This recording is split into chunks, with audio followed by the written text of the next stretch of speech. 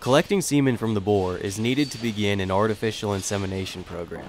Producers who collect semen infrequently may find the greatest convenience in simply collecting the boar after mounting a standing female, but producers with greater breeding demands and a regular collection schedule may likely want to build a permanent on-farm collection pen and mounting dummy. The design of the collection pen may vary greatly according to farm type and producer needs, but must always be constructed with boar and human comfort and safety in mind.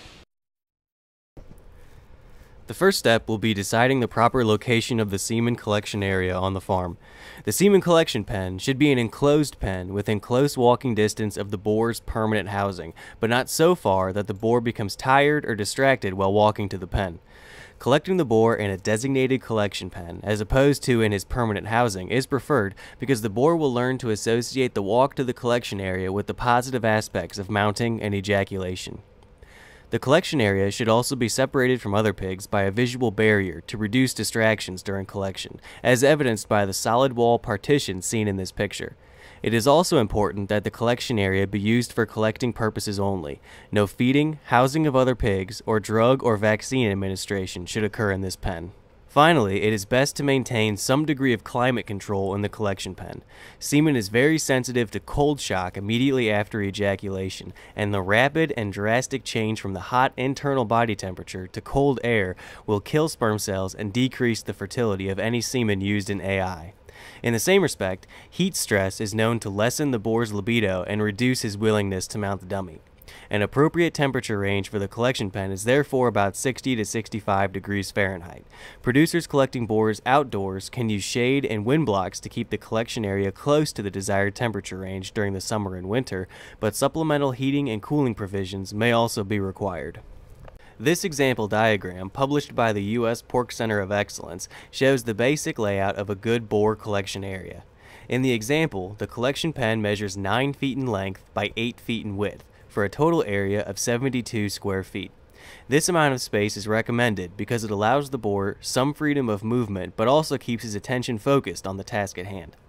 Some producers may find that a smaller pen size of about 50 square feet may work better when collecting young or smaller breed boars.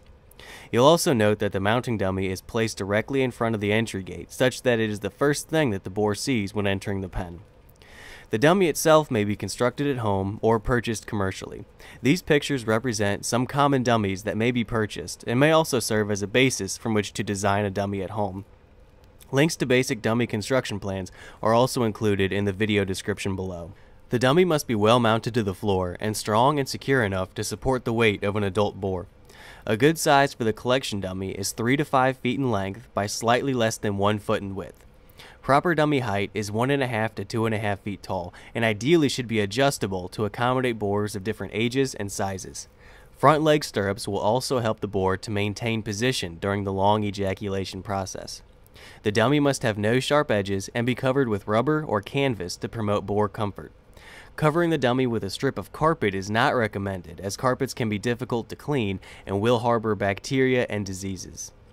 Additionally, a 3 to 5 foot piece of rubber matting or a wooden plank with toe boards placed directly behind the dummy will help the boar maintain good footing when mounting and throughout collection. Human escape areas in the collection pen are also important, and these can be seen in the highlighted areas in the diagram and in the background of the inserted video clip.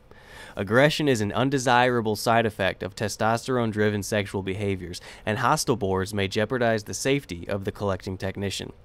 The escape areas in this diagram are constructed of 2 inch diameter pipe, measuring approximately 3.5 feet in height and spaced roughly 12 inches from center. This provides 10 inches of open space for the human to escape through, but the adult boar will be too large to follow. And finally, here are a few remaining tips that may be useful to keep in mind when constructing a semen collection pen. Provide good lighting in the collection area to prevent the boar from balking at shadows and delaying the time to mounting. Also, place the dummy on level ground to allow for good footing. If a very slight slope cannot be avoided, it's best to angle the dummy such that the boar will face downhill and rest comfortably. Boars mounting at an incline will have to support their weight throughout the entire process and may begin to tire before ejaculation is complete. But remember, anything other than a very slight slope should disqualify a location from consideration as a collection pen.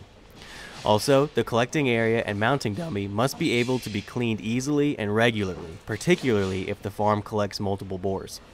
And finally, locate the collection area as close as possible to where the semen will ultimately be extended and stored. Semen quality decreases quickly and so should be processed within 10 to 15 minutes after collection to ensure optimal fertility. More information on semen collection techniques and processing procedures are covered in other videos. In summary, producers with a regular semen collection schedule may first want to construct a collecting pen, and this may be done fairly easily on the farm. The best collection pens will be those that are correctly designed with both boar and human comfort, welfare, and safety in mind.